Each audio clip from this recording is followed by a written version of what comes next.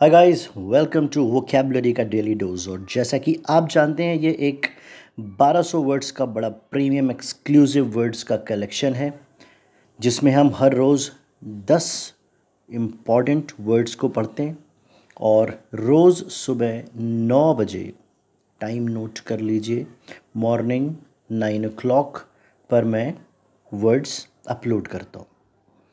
ये words important हैं C H S L C G L I और जो भी अभी अपकमिंग एग्ज़ाम्स हैं, उसके लिए आप से मेरा ये निवेदन है कि आप मेरे वीडियो को रोज़ एक से दो बार देखिए, ताकि ये वर्ड आपको याद हो जाएँ।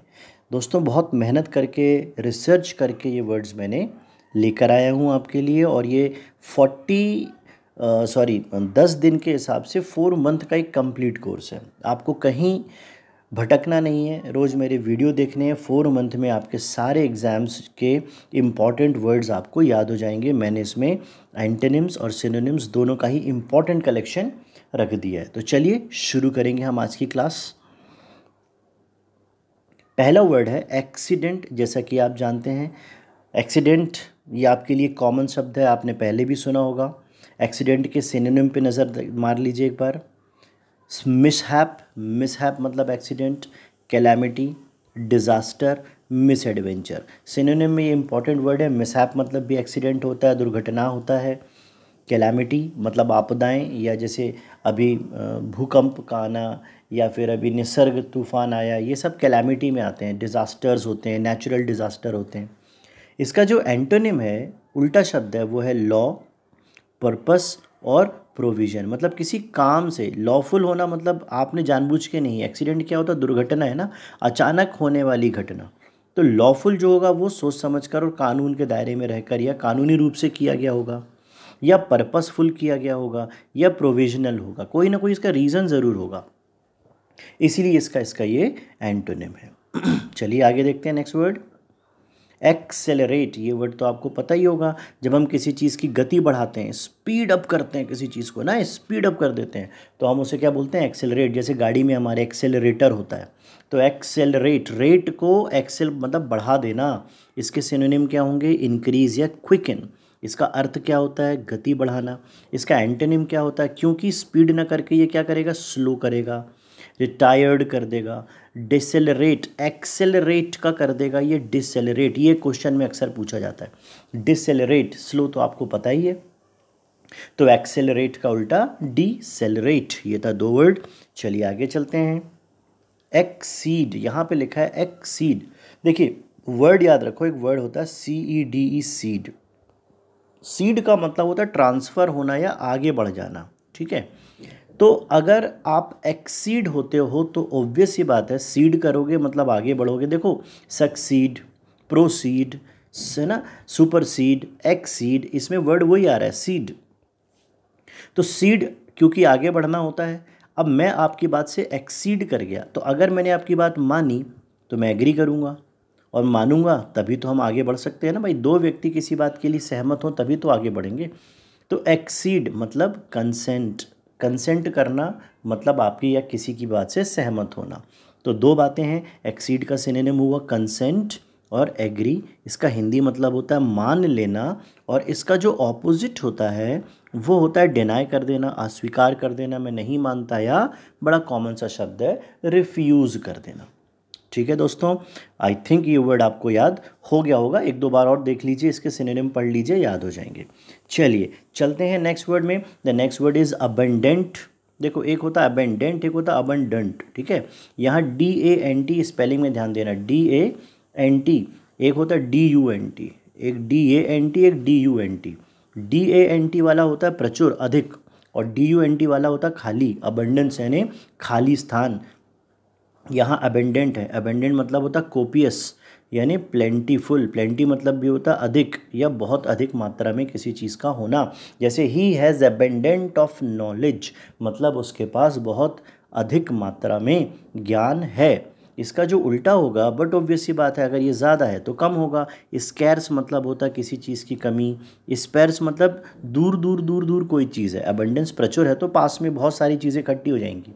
और स्पैर्स है तो दूर हो जाएगा। इसीलिए अबेंडेंट अबेंडेंट का उल्टा होता है स्कैर्स या स्पैर्स गुड याद हो रहा होगा आपको? चलिए, चलेंगे नेक्स्ट वर्ड में। नेक्स्ट वर्ड इज़ एप्सल्यूट हम क्या बोलते हैं? यू आर एप्सल्यूटली करेक्ट तो एप्सल्यूट का मतलब होता है स्वतः या पूर्ण पूर्ण रूप से एप्सल्यूट यानी कंप्लीट तो कई अलग अलग मीनिंग में इसका यूज़ देखने मिलता है ऑटोक्रेटिक एप्सल्यूट पावर है किसी के पास, तानाशाही. तो ऑटोक्रेटिक पावर है एप्सल्यूट पावर सिर्फ़ उसी के पास पावर है, किसी और के पास उसने पावर को नहीं दिया. डॉगमेटिक भी वैसे ही होता है. डॉगमेटिक क्यों? अपनी बात पे अड़ जाएगा और किसी की कोई बात को वो मानेगा नहीं. अनलिमिटेड क्यों? क्योंकि वो लिमिटेड नहीं है. वो उसके पास इतना अनलिमिटेड एंड फाइनल जो चीज़ किसी और के पास नहीं है, हम उसके, इसके सिनोनिम लेते हैं। अब अगर कोई चीज़ कंप्लीट है तो वो आंशिक हो सकती है या लचीला हो सकता है। तो पार्शियल होगा इसका उल्टा फ्लेक्सिबल या लिमिटेड क्योंकि एब्सोल्यूट में कंप्लीट होगा तो लिमिटेड होगा तो थोड़ा हो जाएगा। यहाँ कंप्लीट पावर था, यहाँ लिमिटेड पावर होगा, है ना? ये फ़र्क है, इसको याद रखिएगा। एब्सोल्यूट का सिनोनिम हुआ ऑटोक्रेटिक डॉगमेटिक अनलिमिटेड जबकि एंटोनिम हुआ पार्शियल फ्लेक्सिबल लिमिटेड चलिए नेक्स्ट वर्ड देखेंगे। एप ब्रिज अब इसमें तो एक वर्ड हमें देखने क्या मिल रहा है? Bridge B R I D G bridge bridge क्या करता है? जैसे ये नदी बह रही है, यहाँ पर एक रास्ता है, यहाँ इन दोनों को पास लाने के लिए हमने एक ब्रिज बना दिया। तो ब्रिज ने क्या कर दिया? अगर हमें नदी में ब्रिज नहीं होता तो हमको आना कैसे? घूम के पड़ता। और न जाने नदी कहाँ ख़त्म होती, हम तो घूम के आ ही नहीं पाते ना। तो ब्रिज ने क्या कर दिया? इधर की ज़मीन, इधर की ज़मीन के जो फासला है, उसको कम कर दिया। ऐसा ही ये वर्ड भी है ए ब्रिज ब्रिज करता है किसी चीज़ के फासले को कम करना या किसी चीज़ को कम कर देना संक्षिप्त कर देना कर्टेल करना या शॉर्टन करना. किसी ने कहा एब्रिज्ड वर्जन है मतलब कम शब्द होंगे संक्षिप्त में समझा दिया. और एक, इसका एंटोनिम क्या होगा? लेंथन या एक्सपैंडेड किसी चीज़ को और खींच देना और बड़ा कर देना और लेंथ कर देना उस चीज़ में. ठीक है?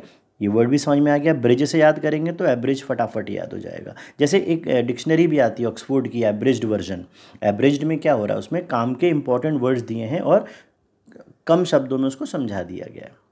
आगे देखिए नेक्स्ट वर्ड इज़ एबॉल्टिव ये वर्ड आप एबॉर्शन से याद कर लो।